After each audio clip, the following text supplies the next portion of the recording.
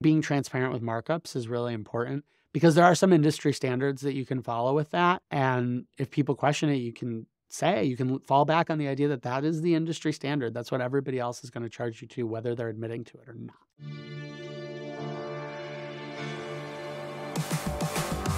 This is On Camera, On Brand, a show for professionals who want to look good on camera, but don't have the time or expertise to turn their office into a Hollywood studio.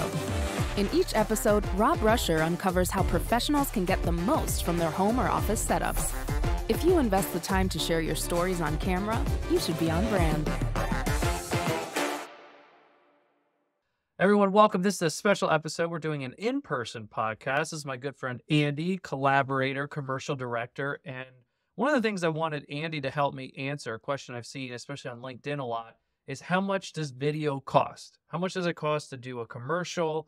Maybe you have an internal crew, but there are some big wigs or there's a big event coming. So it's like, let's just hire some local professionals that this is what they do, make it look good. We get that a lot. So I figure we could kind of go through that. Yeah. Well, budget. Thanks, man.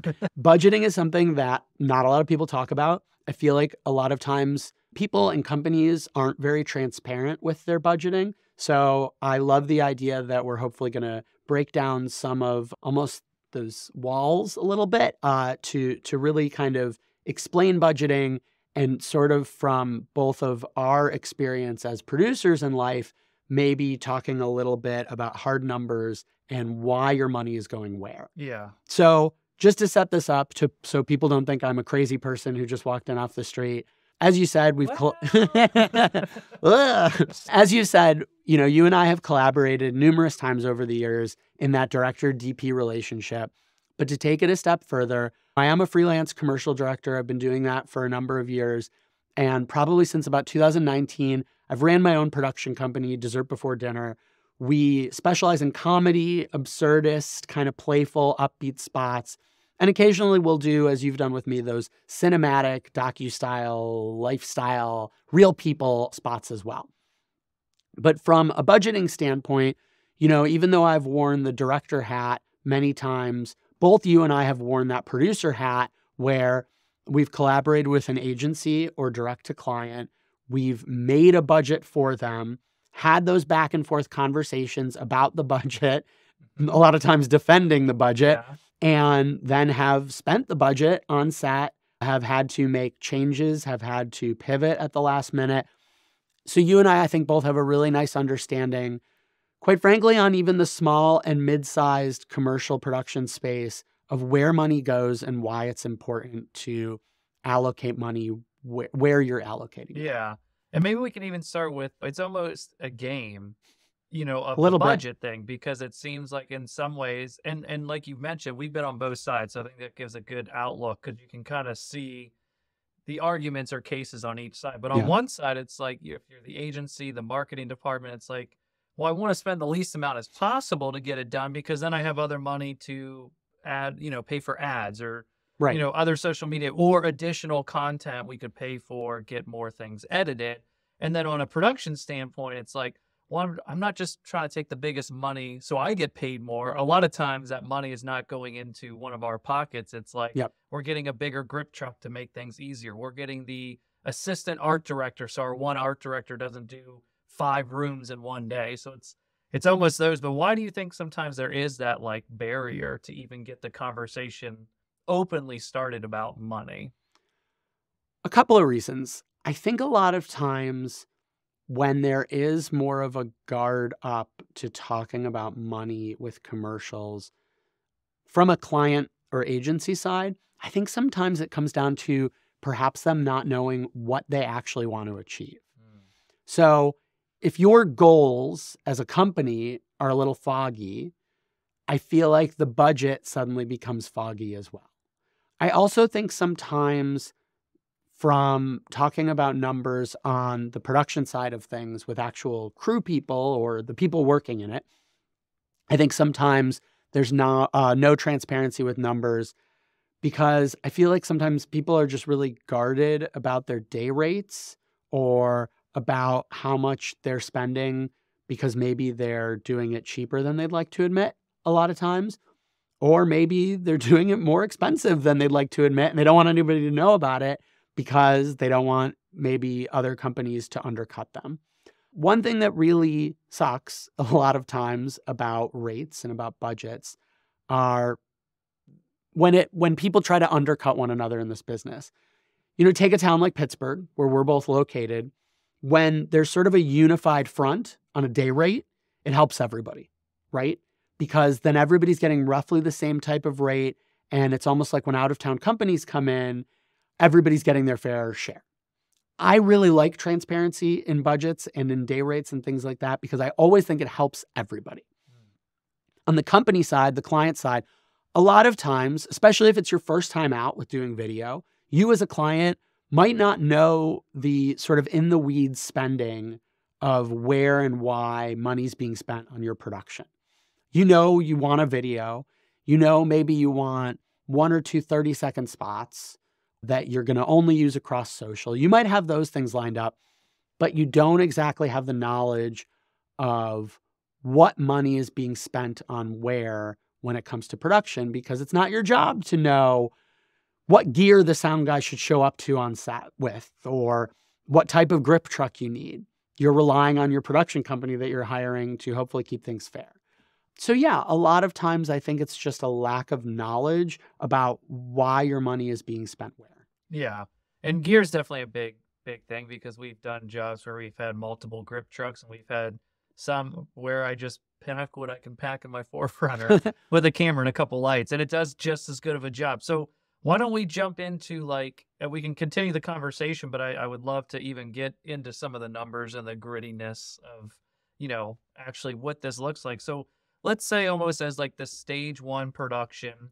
Like I said, you have the space in your office, your yeah. corporate company and you just have a few of your higher up people together. You want to do those typical interview and then B roll. So, hey, from 9 9 a.m. to noon, we have these people scheduled and we have some B roll scenes you guys can shoot in our office. And then, you know, from 1 p.m. to 5 p.m., we have the three interview slots or vice Great. versa. Yeah. And and I think even before that, you as a company really need to know what types of videos you're hoping to walk away from this, the usage, where it's going to end up. And that's going to affect how you or I, as producers, would scale this or quote this. Another thing that happens that I think it's important is there are a couple of different types of entry points to how a client or a company would approach a budget. So even before we put out that hypothetical scenario of sure. the interviews, some clients come to us and they say, I have $50,000. What is that going to buy me? Mm, right? Okay. Some clients come and say, Well, I know I need two 30 second videos featuring three interviews with the CEO included, and we want some B roll, like the scenario you put out there. How much is that going to cost? And some companies, and I like this the best, will say, you know, based on our marketing budgets, we've got anywhere from fifty to a hundred thousand dollars to spend, we know roughly what that could get us. What can you do with that? Because then not only can we make the budget within those goalposts, but we can maybe finagle what they're actually going to get out of that. Maybe they're going to get a couple more outputs that they didn't realize, or a couple more things for social because it works within that budget. So, taking your scenario, some B roll at the front half of the day, a couple of interviews at the back half of the day, Let's pretend they're local to mm-hmm. Pittsburgh, which yeah. is important, right, from the budget. And they're going to use this stuff in B2B marketing, cut up a couple of things for social. We're doing the post on it as well. So, kind of a low to mid size project is maybe mm-hmm. a good way to put it. So, off the top of my head, I'm instantly thinking, what do I need crew wise to accomplish this? To actually like boots on the ground, like what, who do I need there on set yeah. with me? I need myself as a director. I probably need a DP with gear. So director of photography for those that don't know. So thanks. Yeah, no, that's um, all good. I think we're going to need some lighting with the interviews. The B roll after talking to the client feels like it's a little more run and gun because uh, maybe their business is open and we're working around existing people in the business. So that can be a little looser, but then at the back half of the day, we'll have more control over those interviews. So the director of photography is going to need an assistant camera because we're running around a little bit. So that's going to tell me that's a position we need. We're going to need lighting, so we'll need a gaffer. The business that we're filming in is pretty accessible. It's easy. It's got a lot of open spaces. So I think we just need one grip for this one. We probably need a PA, a production assistant, just to help us, you know, wrangle people and things like that. The company's pretty buttoned up, so we don't need a producer on set, I think is important. That's one that sometimes goes either way. Depends how many crew people you have, how many interviews you're doing. This sounds like the company's under control. Yeah. They know what they're doing. they're going to show up when they need to show up. We need sound with gear because we're doing these interviews. Especially B roll, you want sound because it's one thing to set up a microphone when no one's moving, but yep. For me, that's always when I get into okay, definitely need someone else to handle. If you want people walking and talking, you're doing yeah. different B roll scenes. You know, right? They, you want to jump into a meeting, but quickly lav them up so you can get those sound bites. It's, sure. Let's pretend the business is a manufacturing business. Sure. They manufacture plaster casts of hands for no reason at all. Just to do it. Yeah. So there's a lot of machinery, so we will want that sound for the B roll. Things like that always go into our decisions for why we hire who we hire. Yeah. Yeah. So we'll want sound. Um, the business is already set. We're not manufacturing scenes. We're not yeah. making up scenes yeah, of them just, molding these hands. Totally. So we don't need art or anything like that. We don't need props. But there's a lot of people that we're filming. There's a ton of people that we're going to capture. So I'm going to want a second PA to just be in charge of releases of uh, organizing lunch and then have another PA really with us as maybe a second set of hands, yeah, like grab batteries. Also be a client position I've done too. But really? just have to make sure well to handle releases. Like oh, a person who set, works for the business. Yeah, but it has to be like that's what you're doing. Cause like sure. your example, it depends on how many people you're filming. I've been in the situation where it's like you had three releases at the end of the day and then I've produced like doc stuff where it's like you have like 30 plus releases. Right. You need a PA a for that. yeah, you need someone just focused right. on on that. And then I think that's it for something this size. So then what I'm doing is I'm taking those people's rates. Again, I know we're filming in Pittsburgh for this example. I'm going to take those people's rates, line item all of them. I'm going to mark everything up because I, as a production company, need to make money. I might add a percentage for insurance on top of that. And then that's my quote. So then I'm going to turn that over. Are we are we factoring in post production for this or no? Oh, we can start with just the crew side, maybe just like uh, just production. production for now. Yeah, sure. That's a little separate. Yeah, we can get into that at the end though if you want. So then I'm going to present that quote to the client. Now, personally speaking, I always put forth, I guess, what I would call a bid sheet. So it tells the client exactly what they're getting. You're getting one day of production. You're going to get us for 10 hours that day. You're going to get these crew people who are going to show up on set. You're going to get this many pre production hours or a rough estimate of this many meetings. You're going to get a location scout, and that's going to include the, these people who are going to show up to the scout. I really try to lay it all out there so everything's really transparent and they know exactly what they're getting for their money. Mm-hmm. I feel like when you don't do that is when problems come up when you're not so transparent with where exactly. the money's going. Not only that, but like when you don't set expectations, I find that there's always something that comes up either on my end with crew people or on the client's end with something that they or I assumed that wasn't written out. So I think on that bid like sheet, who's buying lunch? Yeah, I mean, kind of honestly. That's my first concern. And am I buying lunch for your entire company? There's a lot of there's a lot of people who are manufacturing those hands who are going to want salads that day from yeah. you know for lunch. And am I paying for that suddenly? I know that sounds silly, but it genuinely adds up, and you really need to be up upfront about that.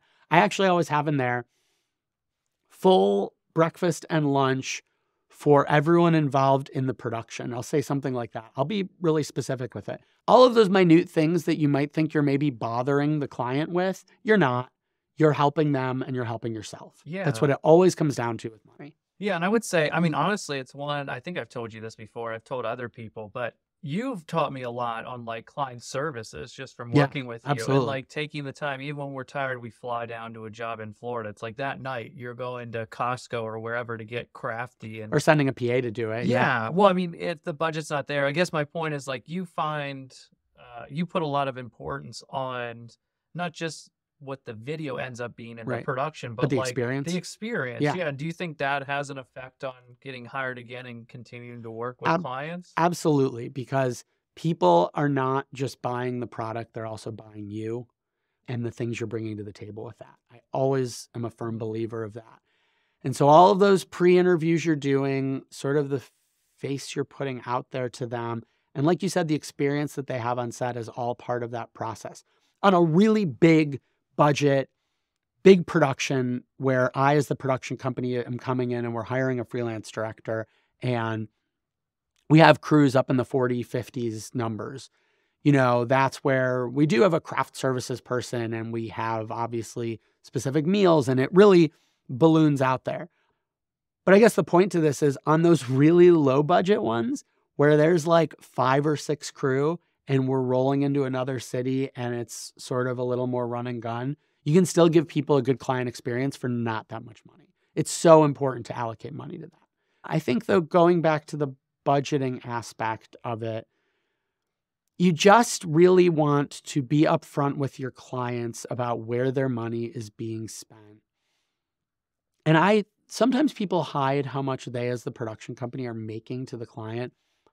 I, I believe the opposite. I think being transparent with markups is really important because there are some industry standards that you can follow with that. And if people question it, you can say, you can fall back on the idea that that is the industry standard. That's what everybody else is going to charge you to, whether they're admitting to it or not. Okay, so let's say we're in the budgeting stage, the client gets it, and they either say no or they say, no, we were thinking this. How do you handle that? And then to take it a step further, at what point do you walk away from the job or decide this is not this is not the right fit? That's when you mail the marketing person a bag of cocaine, a delicious cake, and say, please accept this budget. Oh wow. So if a client pushes back, uh, you know, on the budget that you quoted them, there's a couple of different ways to handle it. But again, you were transparent with your budget. So you've already kind of broken down that first wall, hypothetically. It's not about doing the job for cheaper, but I always feel like it's about giving them perhaps the budget that they asked for, but showing them what they are or not getting. We can work with any budget. You're just not going to maybe get what you need or want. Mm-hmm. So I've found that when a client comes back and they are pushing back against the quote that I've given them, if we talk, we can sometimes collaborate to figure out where we can, you know, kind of get people out or or scale things down to maybe fit within the budget that they want. Now, obviously, if we're at wildly different ends of the spectrum, right? Using our hands example, I quote them around 50K for this interview day. And then they come back and say, well, we've got more like 15K. We're probably not going to come to an agreement here on that. Uh, I've had it where I've recommended other people for jobs based on them coming back and saying, we have $40,000 less than you, because I know that there are other people who are maybe smaller scale production companies who could do it. But I feel like just talking, talking is always the first step and being transparent with the client about the money and asking them, how could we get this down to a more appropriate number? Do we cut some of the deliverables? Do we, you know, maybe reduce the amount of B-roll we need or reduce the amount of editing if we're doing post? There's always ways to figure things Or out. locations. Yeah. I've been in that before because it's the difference between needing an extra grip or more gear could Yeah. be that you want us to light a different room for every single person. We have to clean up all the gear, push carts over. So Right. then it becomes okay, we might need to rent a second, you know, second set of lights so we can Yeah. like be pre-rigging so we can hit the timeline.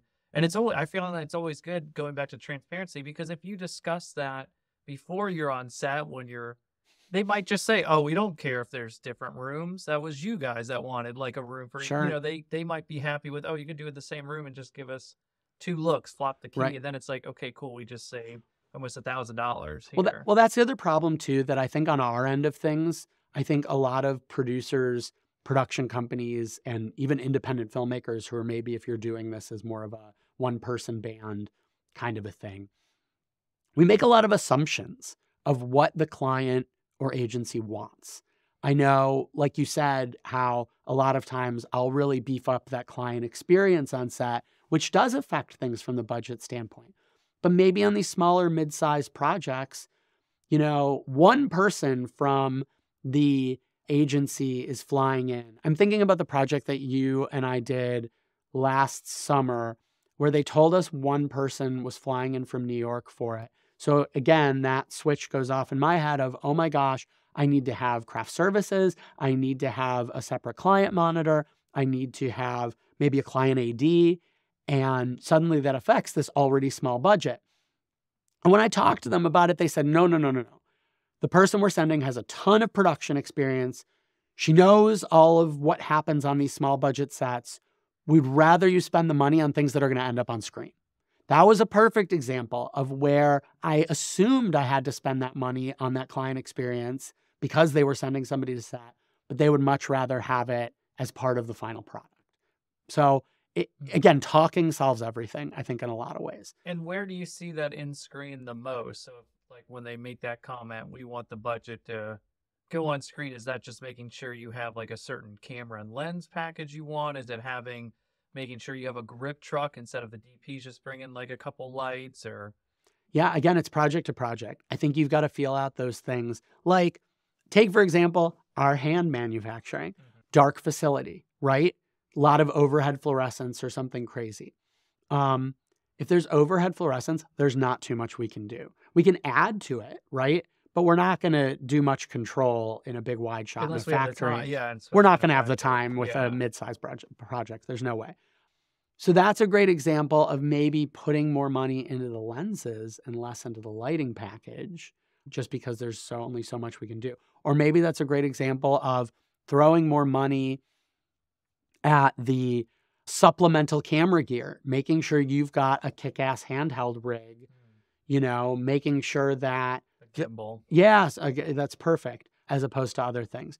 So it's all situational, but then it's also about telling the client why you're spending their money where you're spending it, mm-hmm. right? You can flat out say, I took the money and pumped it more into the camera gear because I'd rather have dynamic shots following factory employees as opposed to trying to control the lighting, which I know we don't have control over because you told me it was a really busy factory setting during our pre pro calls. Yeah. Those are the types of conversations you need to be having with your client in order to justify the budget and justify where your money's going. And I think that's where you become more valuable. It's like where you become a professional. Just like one example I have, or when yeah. I remember where it really clicked for me of like, budgeting and how much money you have to spend. And when we did the shoot in Las Vegas for Caesars and we had to go around, I just remember at first, this was before like LEDs were the lights everyone uses right. only. But I was like, how am I going to do the biggest job of my career without HMIs? Like, I, you know, I, I don't know. But I realized I was like, okay, we don't have the time. I can't like do these huge lights and then be like, all right, Andy, 15 minutes to cool down and then we'll so I spent we spent more of the money. We didn't get like the best lenses ever. I think we just got some Canon Cinema Primes. But anyways, the point is because I looked at the whole project and like what was actually going to be done, I was like, this is where the money needs to go. Like more like lightweight LED lights so we can move quicker. Right. And that ended up working. So and then it to, goes through the whole project, I feel like. To piggyback on that budget real quick, that was a tough one and an interesting one because in Las Vegas, you have no control over the locations. So I didn't have to pay for locations as a producer, but what could I do to make those locations sort of look as glamorous as possible, right? With a really good hair and makeup team on that. We hired the best and spent a lot of money on it. We didn't have a huge crew because we physically just couldn't have a big crew. They told us in those pre pro conversations you need to maintain a small footprint. That is the most important thing because we cannot disrupt actual customers at these places. Uh, so, okay, if we don't have a big crew, where could we pump really good amounts of money into? Talent, right? We sourced some pretty decent talent on that one because we only had a limited amount of time at each location as well. So you want that talent to be on and ready. First take, they hit it out of the park. Mm-hmm. So just things like that of yeah. really I almost feel like really examining just situationally what's happening, talking to your client. And again, a lot of times on the larger jobs, the traditional flow of things will be you submit a reel. If you get into that sort of triple bid process and you're making up the bid for the job, you're inevitably having a conversation with the agency about the job, talking to them from a producing standpoint, your director's talking to them. You can ask budget questions during those conversations. And a lot of people are nervous to, and I don't think you should be. You can have those hard questions about where do you see the majority of the money being spent? What's the single most, most important thing about this job to the client that they've talked to you about in those pre pro conversations? Because they might say the client is so hell bent on getting the best locations possible. They want the locations to look amazing. So then suddenly you're going to put a big fat line item in for locations to impress them on that bid because you knew that they said something. So it's just it's all about talking. It always comes yeah. down to talking. Yeah, is what I think. the money in the right spot. Yeah. And I think it's funny. It goes. It, it circles all the way back to client services then on the end because you're yeah. Targeting what is their biggest pain point or what's most important to them. Sure. And making sure that the money is is covering that. Yeah. So what I want to do is a lot of companies. I think a lot of times, especially for the small to mid-sized budgets, maybe those B two B videos or like you our example don't exactly know sometimes how much things cost. I mean, you've been in the same boat as I have, where sometimes we send it over and it's pure sticker shock because they think that video example that we've been talking about with three interviews and some B roll could cost $3,000 mm-hmm. and they don't understand everything that's needed to it. So I kind of want to put pen to paper and yeah. actually let's actually make this budget out for that example. Let's do it. So again, just to sort of put yeah, down, down the little project here. Yeah. Too. So so just just to to give a recap of what we're going for, we want a single day shoot, so 10 hours. It's going to be local to Pittsburgh. Front half of the day is B-roll in a manufacturing facility that makes hand casts. The second half of the day are three interviews within that same facility of three different people in the company that they're providing us. So we don't have to pay talent fees, for example. And let's pretend we want to get roughly like two 30s out of it of different people talking on camera intermixed with B-roll about the joys of manufacturing hand casts for children. Don't bring the children into it. so it's tiny hands. Oh my, no, it's not. I'm just being hand silly. factory. So real quick to get into budgeting software. The example we're using here is just a Google Sheets template that a friend of mine gave me years ago that I've been using ever since for those really kind of smaller budgets, just because it's easier to use. But okay. there, if you just Google budgeting software for Excel, for Google Sheets, there are so many out there. Some are free, some you have to pay for, like Hot Budgets is a really popular one. I think it's like $100. The other thing to know that's really important is when you get up into the more, we'll call it big kid shoots, right? Where the budgets are a little meatier, there are certain templates and formats that people come to expect to see. So if you don't use one of those, you might throw them for a loop a little bit. So when you get up into more of the larger shoots, uh, the AICP budget forms are a little more standard, and people will come to expect that template. And they uh, just go through a little more line items. They break things down even further. So I would encourage people to look those up on the larger budget okay. stuff but I Association of Independent Commercial Producers. I believe so. Yes. AICP, I'm bad. okay. I'm bad with breaking down what no, letters that's. Fine, that's fine. so, again, for this example, we're using we'll call a smaller budget yeah. template. So let's just start filling stuff out. So on the first portion here, I have creative services, which are kind of some of those pre-pro items. Okay. So let's pretend there's a scout involved to this, right? You and I have to see this facility to sort of figure out the best places to film.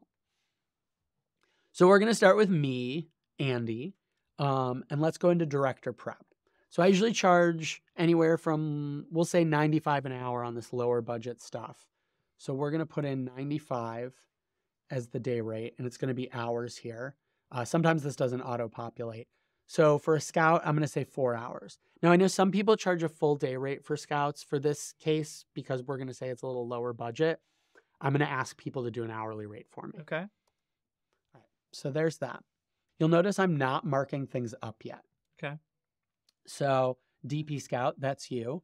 So what are you charging for a pre-pro rate? I think around you, the same? Yeah. Well, yeah, somewhere around there. I'd say like 60 to 70 an hour or something. Yeah. 75 yeah, an hour. Somewhere in there. All right. And so it depends. And I would say even just to give my honest feedback on a project like this, if if they're scout, you're renting gear, all that. Like usually it comes to where we're right in the ballpark of what I charge, but I'm not going to say no if it's like off by a couple hundred bucks. I know to- what you know. mean. Yeah. Yeah, like if it's a lower budget thing, sometimes I'll just throw the scout in because it's for my own sanity as I was just gonna say sometimes with the scouting, I mean, I know even like ASCs and huge DP, like if they don't have the budget, they'll still do it or they'll try to, just because it makes you that much better on the day. So it kind of depends on the project Well, too. that's something else that kind of falls into transparency on our side of things and not the company side of things.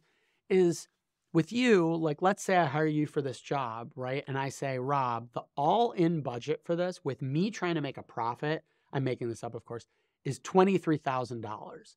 You're going to probably say, well, not probably, but you might say, I'll throw in the scout for free. I understand Yeah. that this is a lower budget thing.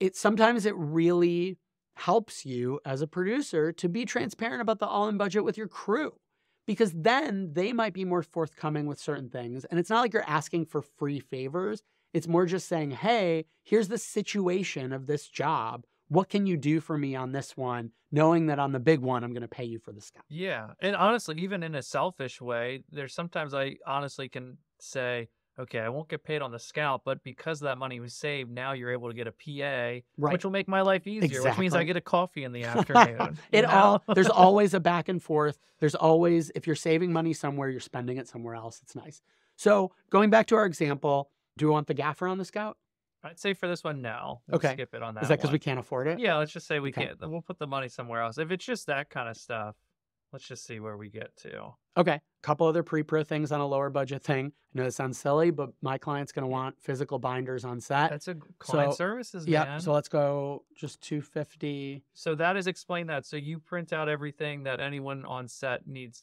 to see. I and wish- a nice binder. I wish we were beyond the days of having to print things out on set, but a lot of people still like physical handheld materials.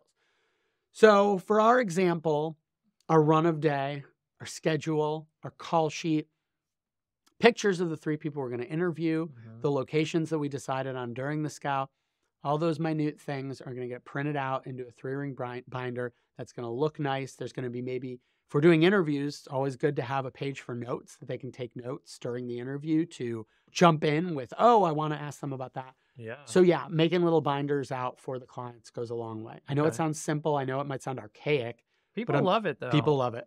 It's great. Okay, we're not traveling anybody in for this. Even though it's a real world shoot and it's a smaller shoot, I'm going to line item some storyboards for this.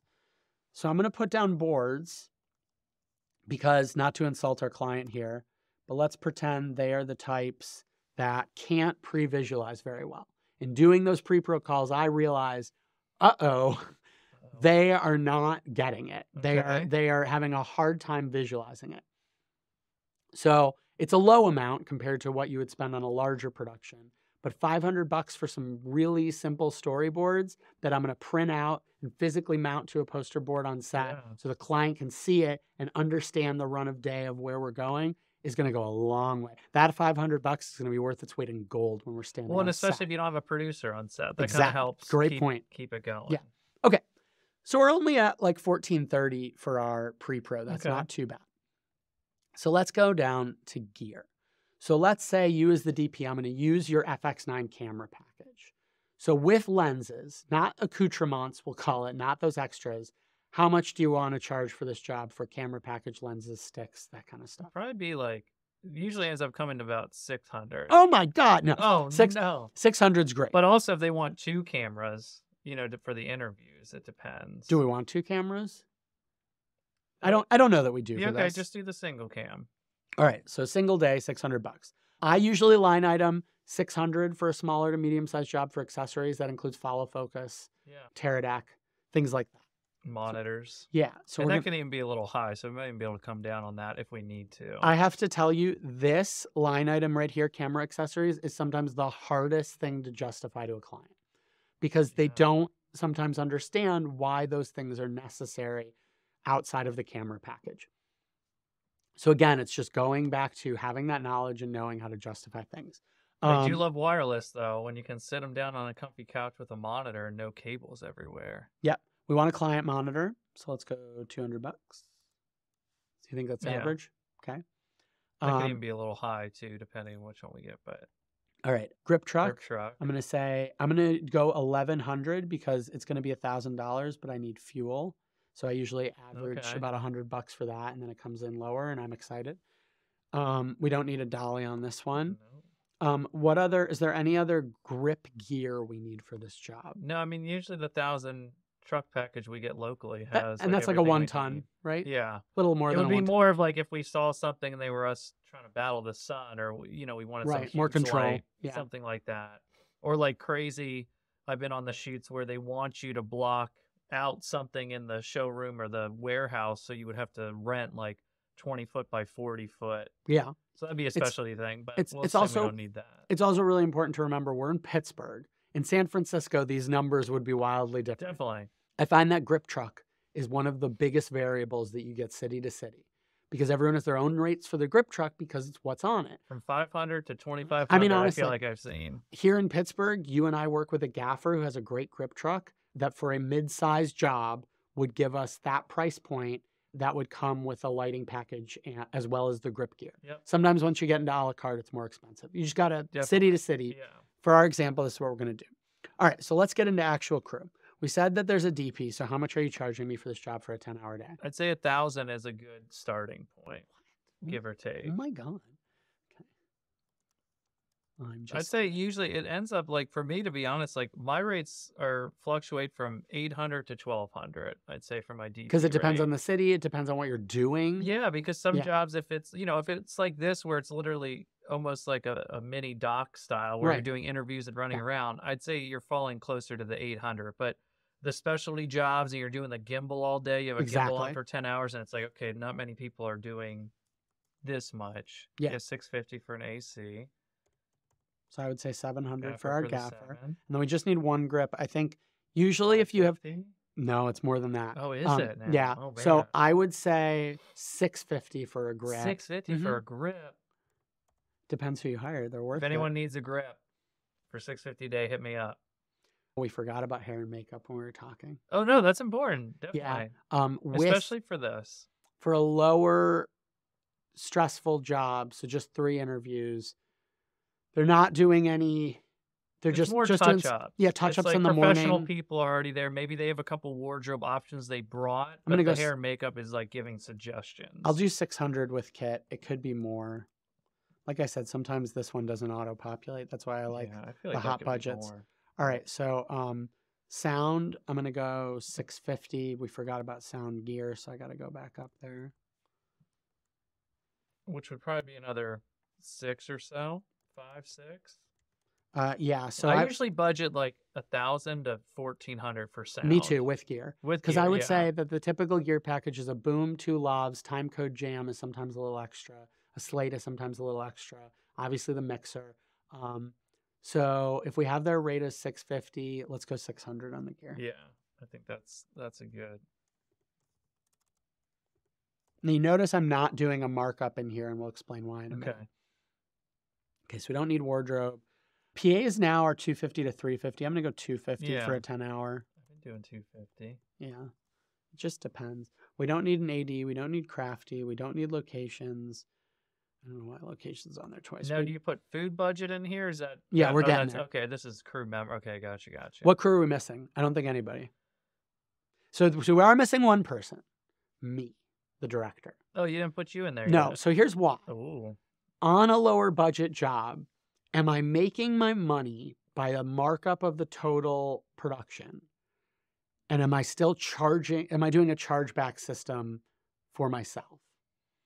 So it just depends. So for me, for this type of job, for a day rate, it can be pretty low. I'd probably put like 1200. okay. So Let's do that for now.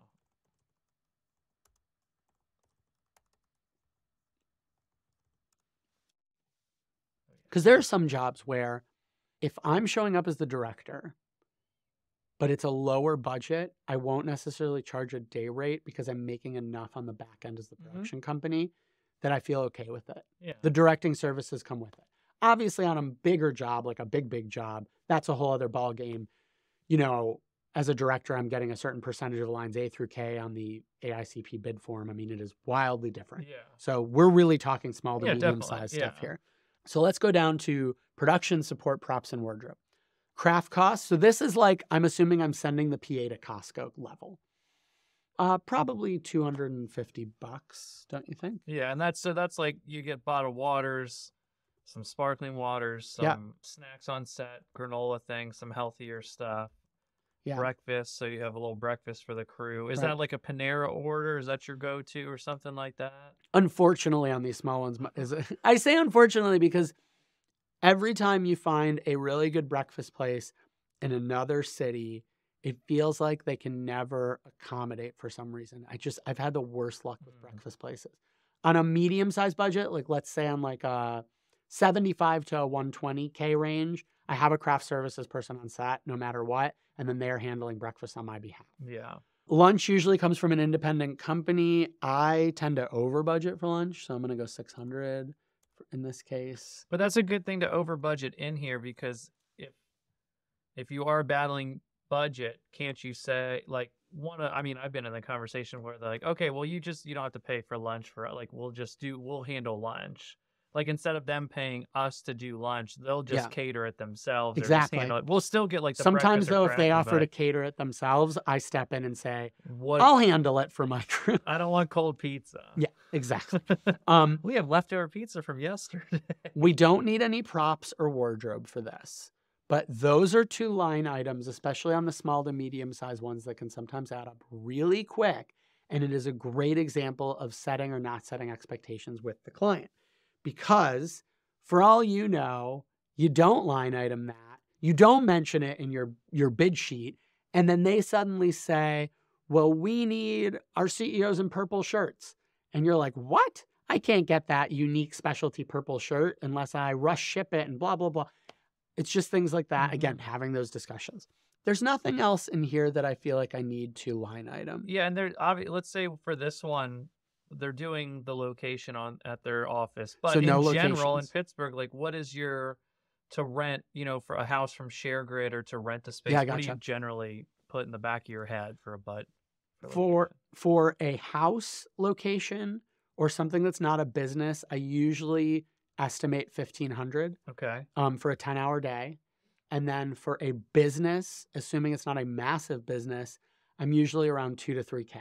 okay, So like, and then I think that it's important to know that the size of the house can sometimes bump it to 2K to 3K as well. and studios around here are like fifteen hundred to two k a day. It just depends. Like some of the larger studios, uh, especially if you get some of like the soft lights included on the grid, that's around 1500.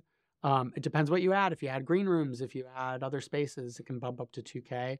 And some studios can be 800 to 1K. okay, It just depends. cool. Uh, just something good to throw in there. If the person doesn't have a location, just so Sure. a general I, idea. I also think it's important to know that when you're budgeting out locations, a lot of times it's good to just call them and ask for the price sometimes. You know, specialty locations can add up when you don't expect it. You can have in your head 2K for a location, and then unbeknownst to you, that gas station's charging you five grand because it's shut down for an hour. Just depends, right? Sometimes Yeah. restaurants, restaurants are can be wildly expensive when you least expect it. you get those before they open though. We've been on some of those. Yeah, or on the day that they're closed during the week Yeah. sometimes helps. It's funny how it can go the opposite. I did I produced a thing for GNC that photo shoot that was multiple days and I had all this budget for locations because they wanted all this park and outdoor. Ended up being free. Yeah, that's great. Park. And then conversely, we you and I just did a shoot about a year ago that had police stations, fire stations. Those were wildly expensive. Yeah. And that's okay. But you know, within that location, we got the vehicles. We got a lot of props from them, police, right? They K nine dog. Right. So it kind of actually helped on the other end of things. Just depends. Yeah. Um, so for our example, we're not going to do any post. Okay, yeah, we'll just keep it the production. Right. But remember to really outline your post if you are doing it, not just your editing rates, your- Explain that, yeah. your audio mixing, your sound design, your color correction, uh, your graphics or VFX, even if it's just animating a logo or putting some simple type on screen and you want to outsource that. Closed captioning. transcription services. Yeah. If it's interviews, like in this case, we might want transcription services on there because it's going to make it easier for me to edit, but we're not including post. So yeah, no, no, that's a good thing to keep in mind Yeah. because I think the goal with this episode too, not only to show the prices, but but to get the right mindset of how to price, so you're Right. not cutting yourself short. Because I know with editing, when I not that I edit a ton, I do, but when I first started editing for like clients, I would be like, oh yeah, I get this done a day or two, and now it's just like, you know what, I'm just gonna estimate almost a day just to like get the project started. Yep. Because it's like it's easy to just be like, oh, just go right in. It's just cutting these scenes. It's like, no, you gotta first you gotta get on hard drives, organize it so you don't lose it, right? Yeah. Go through things, actually understand it. So yeah, I think with that, it's just like almost I feel like what I'm taking away from how you're handling this, which is great, is you almost take a step back and try to look at a bird's eye view of the whole project. Absolutely. Like everything that's that's involved and obviously keeping in mind what's most important to the client, what's like their biggest pain points that you need to make sure you're Sure. not like annoying them by not doing or ignoring. Yeah. And then just to get into our budget to wrap it up a little bit. Yeah. So we're not doing post. Uh, we're also not doing talent. I find talent to be one of the most expensive things on a set. And I also find it's where there's the one of the most disconnects between you knowing maybe talent costs and your client not understanding talent costs. Um, it can range for as much as you paying, you know, maybe your friends to show up to set for a hundred bucks to act, to act as extras in our factory setting, or it could be hiring professional talent who are going to do lines on camera for a couple thousand dollars plus a 20% markup for the talent agency you're using. Yeah. And again, it's just talking to the client, right? It's telling them just how much talent costs are and being transparent about it. But again, that's where I find it, there's a big disconnect a lot of times. So we don't have talent costs in this example. So drum roll for our final cost. So that's pretty cheap. That's actually really cheap. But what we haven't done yet. So wait, so it's eleven thousand two hundred eighty. Okay. So what No this is though, right? exactly. So this is my out of pocket cost on here. What I'm spending to make this shoot happen. So there's a couple of different ways that we can talk about markups that you as that producer need to make money on it. Okay. So I used to operate on a 70 30 attitude where I would, if they would come to me and they would say, let's use $100,000 Yeah, to make, make this it easy. easy. We have $100,000. What can that buy us? I would operate on the 70 30 where I'm going to take 30% of that $100,000 and that's whoop, going into my pocket. But Does that's it make that noise? Yes, it does. happens? It makes Okay. the delicious slide whistle money noise. But what that's buying them is my services as a production company. So I'm doing payroll, I'm covering the insurance, I'm doing all of these numbers for them. I'm setting up the production, right? I'm acting as the production company. You're emailing all the crew before Exactly. you're putting it together so everyone putting it shows up at the together. right Right. place, right time. Right. That's what that 30% is buying them. And then 70% will end up on screen. So that's paying for the people, that's paying for the post. And then I tell them what they can get with that $70,000. Here's what that's going to buy you it's going to buy you one day of production, it's going to buy you this many crew, it's going to buy you this many outputs.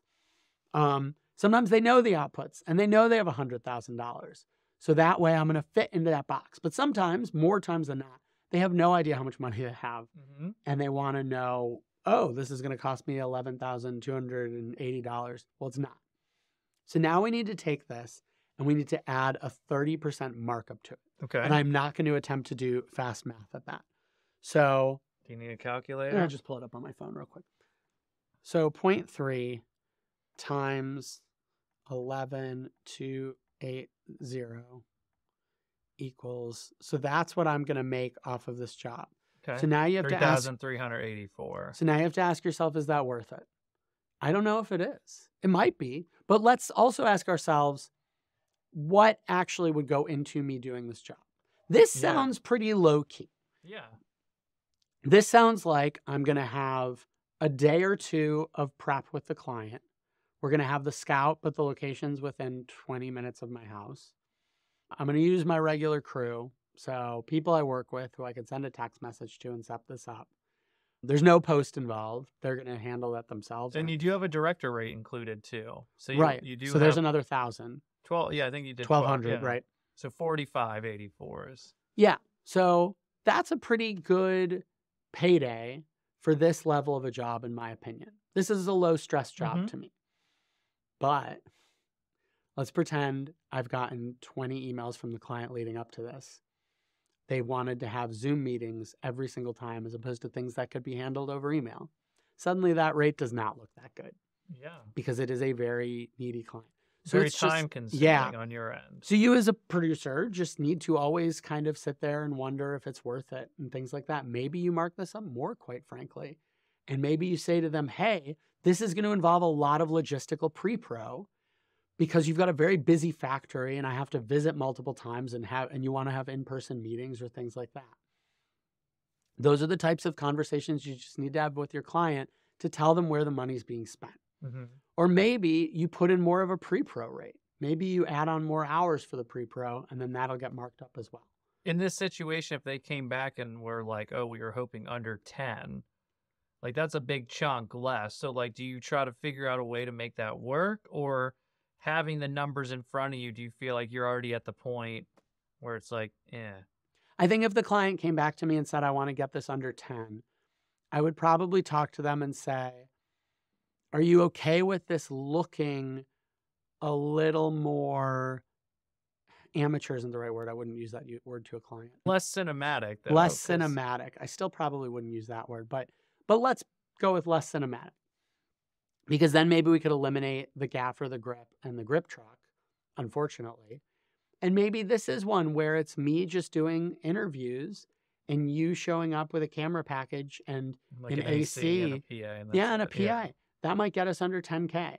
So again, this is a really small job we're quoting yeah, here. well, this is good because I think these yeah. are the conversations. And even with that, where if it came to me and you were asking, hey, Rob, like, going on this this they're trying to what can we do to shave cost right my first thought is like well interviews then need to just be in the same location you know maybe we can flip the scene after the first two so you yeah. get two looks for the three so you're saving time that way and then the b-roll needs to be more condensed because a lot of times the extra crew you know, it's like, oh man, another five, six hundred dollars. It's yeah. like, but that person just is going to save you like two hours of overtime. Absolutely. Because you're having us run from one factory to the next. You right. know, it's not next door. Yeah, We're yeah. all over.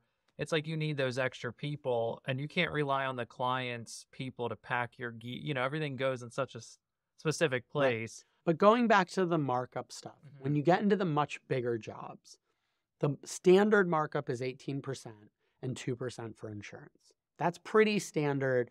Now, it's different on every job. Some companies charge more, some companies charge less.